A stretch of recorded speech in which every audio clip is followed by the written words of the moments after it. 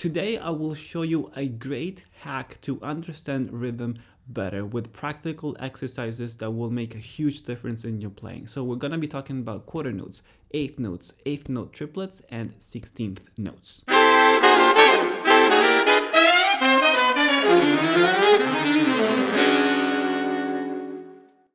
Hey guys, Martino here. Welcome to the channel. I'm the founder of the London Saxophone School. We're here to help you guys master your skills on the saxophone, whether it's with lessons, masterclasses, workshops, and whatnot. So for any questions, just let me know here below. If you want to work more closely with me and my team here at the London Saxophone School, there's a link below in which you can book your lesson. Also, don't forget to download your free saxophone guide with more saxophone tips in there for you, all for free. So we can get started now. So we're going to be talking about quarter notes eighth notes, eighth note triplets, and 16th notes, and how to really be a master and in control of each single note value. Let's start with quarter notes. I want you to do this with me. Just copy exactly what I do. It's not really hard, right? You're just tapping your hand on your leg. That's all, okay? So that's fine. Now, if we get our metronome and we put the metronome at 60 BPM, okay? We're just gonna tap along with the metronome. Not, not a big deal. Three and four.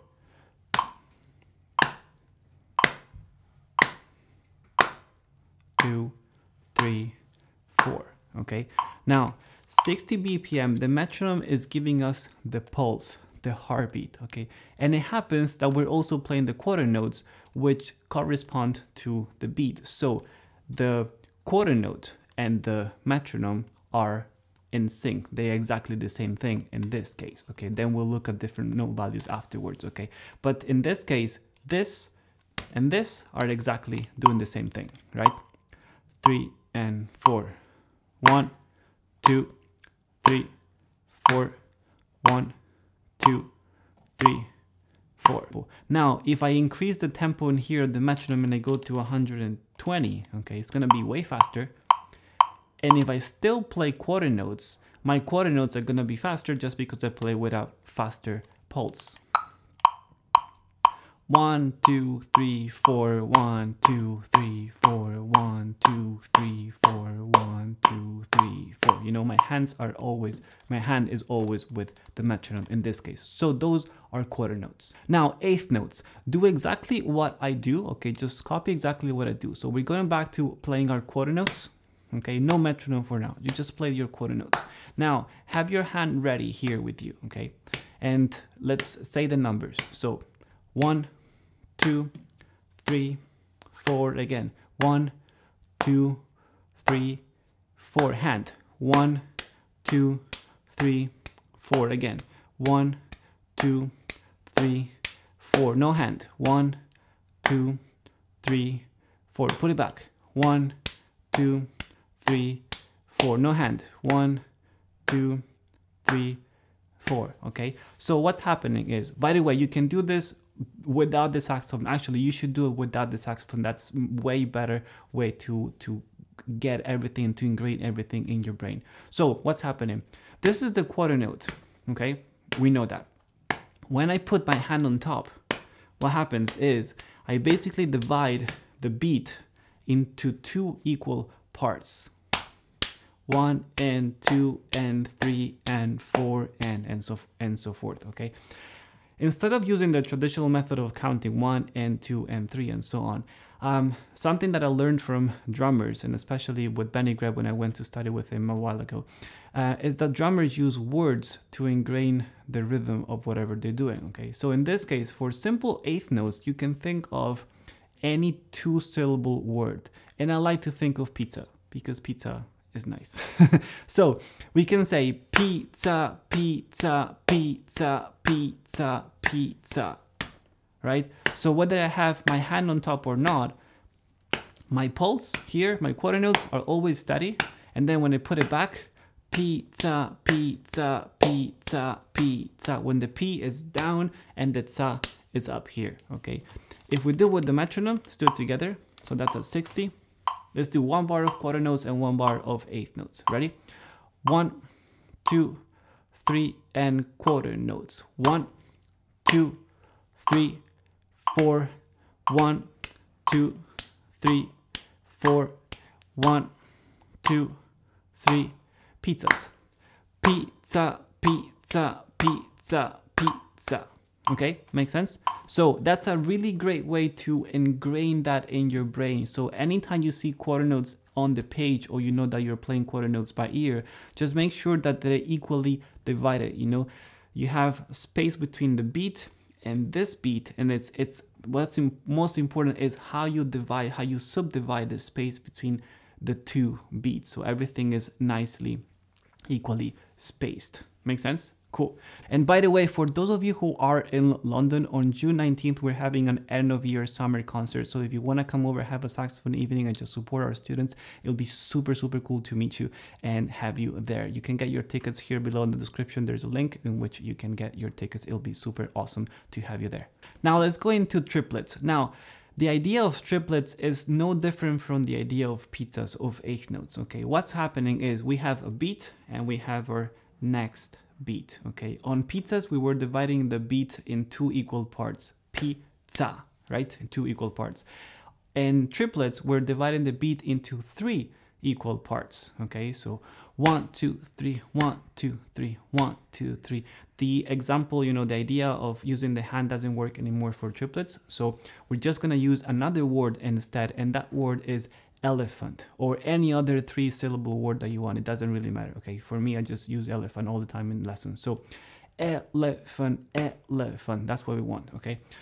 The idea on elephant, the idea on, on triplets is that you stretch that elephant so every single note is equally spaced between the two beats. Okay, I see very often people uh, saying things like elephant, elephant, ba ba da, or ba ba bo ba ba uh, like weird combinations, variations of the rhythm. So you want to be having, you want to have a very nice and equally spaced elephant in a way elephant, elephant, elephant, make it breathe, elephant kind of thing. Okay, so let's do it together. Let's do one bar of quarter notes only and one bar of elephants only. Okay, ready? Without metronome. One, two, three, and and four. One, two, three, four elephants. Elephant, elephant, elephant elephant, quarter notes. Two, three, four, elephants. Elephant, elephant, elephant, elephant, and so on, okay?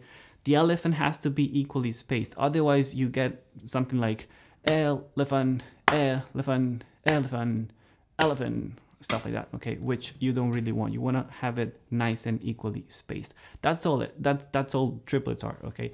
If you think about triplets anytime you see an, a triplet on the page that's gonna really save you. Stretch it out because that's the biggest thing okay and and you'll be fine. Now let's go into 16th notes the idea is still the same. You want to divide subdivide the space between one beat and the next beat this time we're gonna subdivide it into four equal parts. So pizza was two parts, right?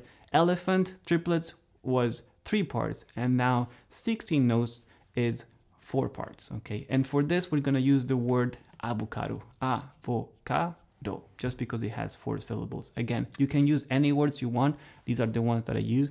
Um, it doesn't really matter so much. So we're gonna go avocado, avocado, avocado, avocado. Make sense? So let's do one bar of quarter notes to make it simple, to take it simple, and one bar of avocados. Ready? One, two, three, and four. Here we go.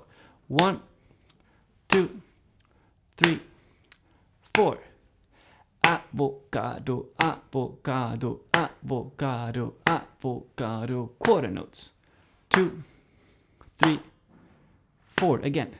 Avocado, avocado, avocado, avocado. Okay, makes sense? So that's all that's all it is. Okay, so 16 notes are basically just a bunch of avocados, makes sense? So at the end of the day, we're relating everything to food apart from the elephants. So we have pizza, elephant, elephant, avocado, avocado, and so on. Okay, makes sense?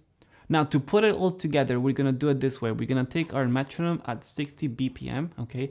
And we're gonna do two bars of quarter notes, two bars of eighth notes, two bars of pizzas, two bars of triplets, two bars of elephants, and two bars of avocados, 60 notes, okay? So quarter notes, pizzas, elephants, and avocados, two bars each. Ready?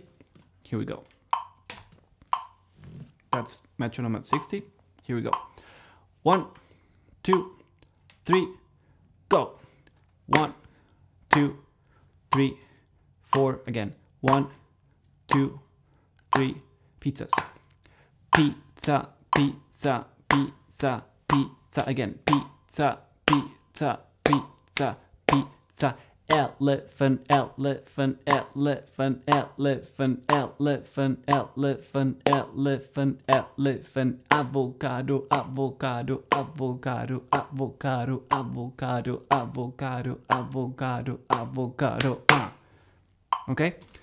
That's it. Okay. So just the fact that you know pizzas, elephants, and avocado, and you can relate to those and you can go back to thinking those words when you have the specific note values, you know, in, in a piece of music, that's to be a, a, massive game changer when it comes to playing and to being more accurate rhythmically, okay? Because otherwise, you will have to think about basically too theoretically kind of thing, okay? But if you bring it down into, you know, concrete stuff, words that you know, then everything will make more sense and your brain will go like, oh, that, that's just a pizza. That's an elephant. That's an avocado whatever okay? Makes sense? So guys that's it. I really hope you find this valuable. Remember to subscribe and to like the video if you're enjoying the content.